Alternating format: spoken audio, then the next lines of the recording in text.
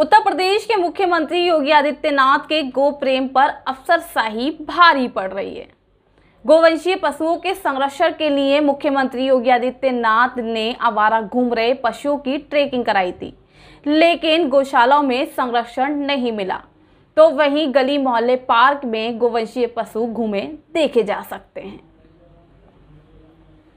क्या नाम है आपका? बाबूराम। बाबूराम गैया कैसे आती रहती हैं? ये फालतू फैलती रहती हैं ऐसी मोहल्ले में। कितनी गैया रहती हैं रोज इस तरह से? ये दस बारह गैया हो जाती हैं इकट्ठी। तो इनके कानों पे कुछ लगा है क्या? ये सरकारी बिल्ला लगे हुए हैं।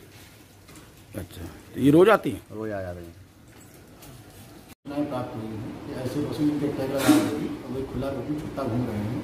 इसके दृष्टिगत नगर पालिका एवं साथ ही संबंधित सीईओ डिप्टी सीईओ का पत्र निर्गत किए जा रहे हैं कि तत्काल ये अवगत कराने का कष्ट करें कि ये किस दशा में कैसे ये बाहर घूम रहे हैं।